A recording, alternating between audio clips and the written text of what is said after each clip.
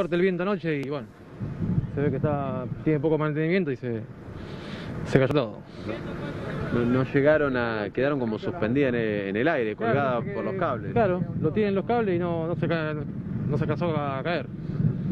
Así que bueno, yo ya esta mañana temprano llamé eh, haciendo el reclamo, tengo el número de reclamo y todo, pero no, no, no hay noticias de que venga nadie todavía.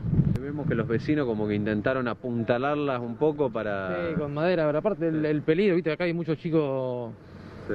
en la calle, es un peligro esto. Vemos que algunos Es se animan igual. Sí, no, es un peligro, es un peligro. Se cae en cualquier momento. esto. Donde se corta un cable se cae todo. Nosotros salimos por esta, derecho hasta la colectora, en la colectora doblamos a la izquierda y volvemos a salir por Wilde. Ahora como están arreglando toda esta parte del mercado, Está cortado ahí está cortado. Eh, tendríamos que salir para el otro lado y, esquivar también la otra parte. Lo que pasa que también allá tenemos los cables, que son también cables bajos, y ahora con el tema del viento también bajaron más.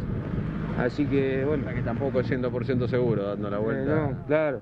O sea, teníamos que. Lo mejor sería salir por acá, pero bueno, Claro. anoche con la tormenta se, se vino todo abajo. Ah, Vemos que autos y camionetas se arriesgan y pasan, pasan igual. Lo que pasa que, claro, un, un transporte de carga es más difícil. Claro, sí, nosotros no pasamos, aparte están sosteniéndolo los palos estos nomás, a las columnas.